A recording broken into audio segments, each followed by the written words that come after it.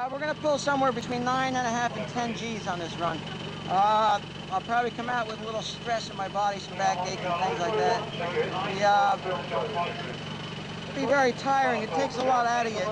I look very calm right now, but naturally I'm thinking about everything, you know. I'll be moving four or 500 feet a second in the lights, hoping that these new parachutes will be working. Uh, we just rebalanced the front end. The car, I've been out of it for a month, so it's you have to be prepared for anything, and you have to be able to uh, anticipate anything's happening before it happens. Otherwise, it's too late.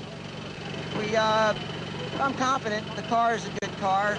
It certainly has more power than it needs. The uh, track is a good, safe track. It's the best I've been on. It's wide, it's long, it's got plenty of runoff if we do have a problem.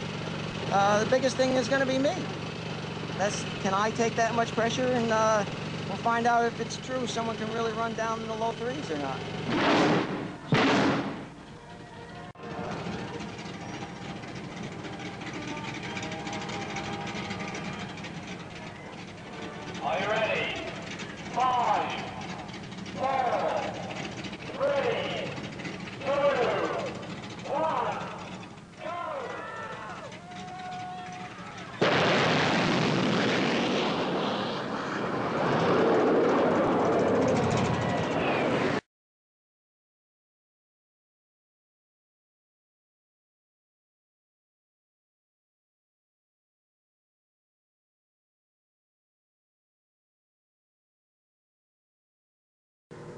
You know, I'm a professional race car driver and everything else, but it, the reason I run so hard here is the people.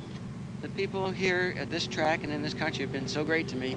I've raced all over the world, and uh, they're the best spectators and best fans in the world. And it, it's true, and it's not a, come on, these people are super. So what I do here, they motivate my actions.